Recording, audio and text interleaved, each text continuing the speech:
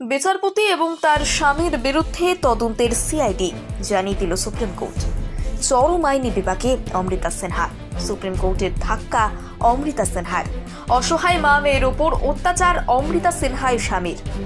নিয়োগ দুর্নীতি মামলায় দায়িত্ব ভার নেওয়ার পর থেকেই একের পর এক খেল দেখিয়ে যাচ্ছে কলকাতা হাইকোর্টের বিচারপতি অমৃতা সিনহা। তাই কি এবার রোষের মুখে পড়লেন তিনি এবং তার স্বামী?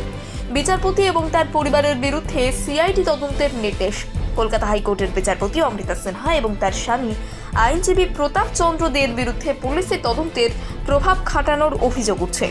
এমনকি সরকারি কাজে বাধা প্রদান করার অভিযোগ উঠেছে। আর সেই কারণেই তাদের বিরুদ্ধে ব্যবস্থা নেওয়ার নির্দেশ দিল সুপ্রিম কোর্ট। সুপ্রিম কোর্টে কার্যত বড় ধাক্কা পেলেন বিচারপতি অমৃতা সিনহা এবং তার স্বামী।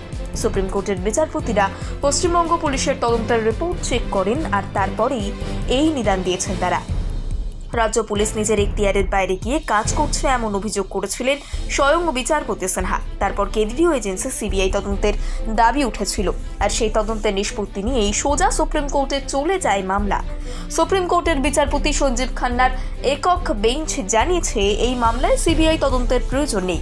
সিআইডি তদন্ত করলে হবে।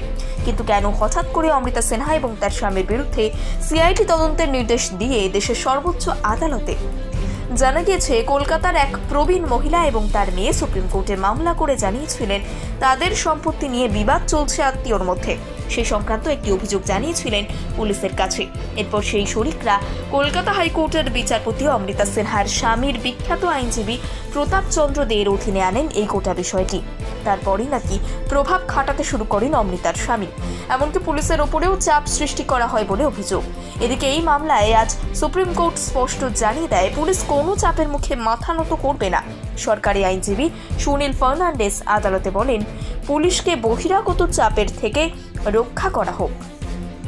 তদন্ত আইন অনুযায়ী এগোচ্ছে কিনা সেটা প্রশ্ন করা হোক। শুক্রবার এই মামলার পরবর্তী শুনানি রয়েছে। আর তার আগেই প্রবল চাপের মুখে পড়লেন অমৃতা সিনহা এবং তার স্বামী আইনজীবী প্রতাপ চন্দ্র দে। বিচারপতি এবং তার স্বামীর বিরুদ্ধে তদন্তের সিআইডি জানিয়ে দিল সুপ্রিম কোর্ট।